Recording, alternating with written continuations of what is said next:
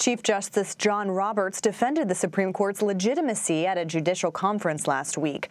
Roberts said, quote, "You don't want public opinion to be the guide to be the guide about what the appropriate decision is. The Chief Justice called it gut wrenching to see the barriers around the Supreme Court after a draft opinion on Roe v. Wade was leaked.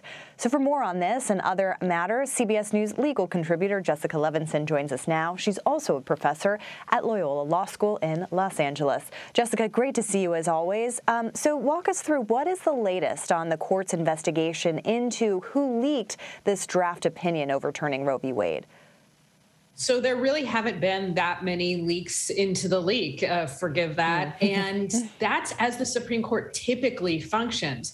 Now, what Justice Gorsuch said is we're going to have a report. He didn't say that report is going to be public. He just said there's a report and I think we'll get it soon. We know in a few things. We know that in the very beginning, it looked like the focus was very logically on the people who had access to the opinion. That means the law mm. clerks. Every Supreme Court justice gets four law clerks at least a year who help with the drafting of the opinions, and the justices themselves. We know that there was some reporting that some of the clerks had potentially obtained their own counsel, that they were being asked for their cell phones. But other than that, we really have no idea. And, you know, save the tape for when and if we actually get the report. But I suspect we aren't actually going to know. I think this is going to be one of those we turned over as many stones as we could. This is mm. unique in the court's history, and we don't think it's going to happen again. And we put certain safeguards in place. No leaks about the leak. Well said, Jessica. Um, I also want to ask you about the Supreme Court is going to be reopening to the public for oral arguments, as uh, the, the, Chief Justice announced. Um, this happens, you know, comes as as we see polling near historic lows in terms of public confidence in the court.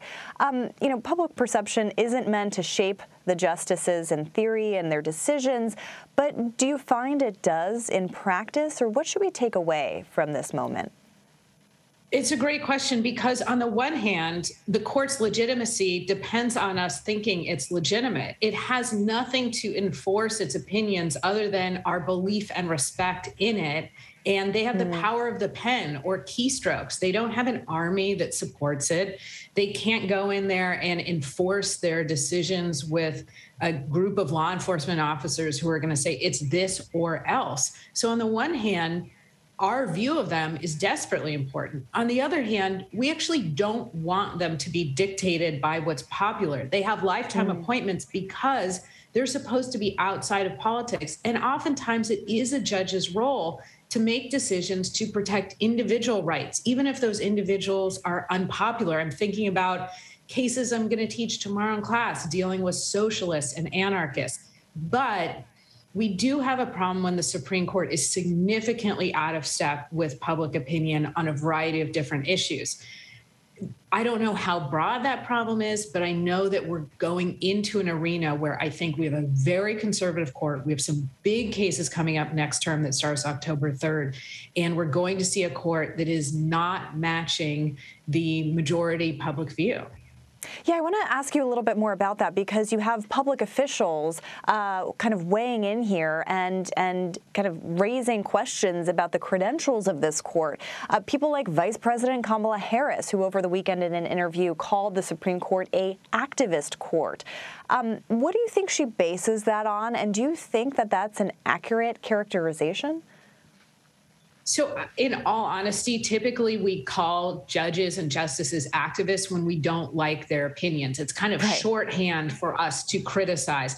Having said that, there is a real definition in there somewhere, and it really is a court that's stepping outside of its role. For instance, a court that is overturning popularly enacted legislation when it really has no basis for doing so.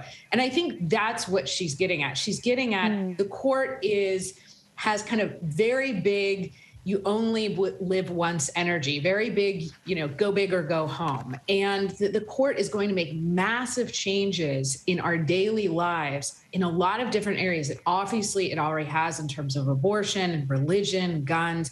We're going to see more of that. And i think that's what she really means by activism Yeah, I mean, I think another item that might raise some questions about this is this analysis that was published by The Guardian that found the wife of Justice uh, Clarence Thomas, Ginni Thomas, who many people are familiar with, she's got connections with over half of the parties that lobbied the Supreme Court to overturn Roe v. Wade. I know this could be kind of murky, but are there any kind of political uh, or legal ramifications for this? So I think only political, and Justice Clarence Thomas, I think, is not bothered by that and not mm. legal for a couple of reasons. One, the recusal statute really doesn't apply to, or I should say, the judicial code applies to all federal judges except nine, those nine Supreme Court justices. There is a recusal statute. There is some indication that I would say maybe not with respect to this case, but maybe with respect to the post election litigation, because of her involvement in the 2020 election, that Clarence Thomas should have recused himself, that based on that very broad definition in the statute, that he really should have said, you know what, this raises questions. And that's basically the standard here. Having said that, there will be no, I think, repercussions. I think he's essentially immune to public pressure. I don't think mm-hmm. the Chief Justice is going to lean on him he's not going to be impeached over this. I mean, I really don't think that's realistic at all. And so we're basically left with um, political pressure, which, as I said, I don't think moves him.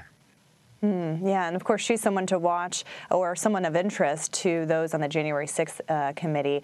Um, well, a lot to unpack here with the Supreme Court coming back into session soon. Jessica Levinson, I know we'll be talking to you a lot over the next few months. Thanks so much for your time. Thank you.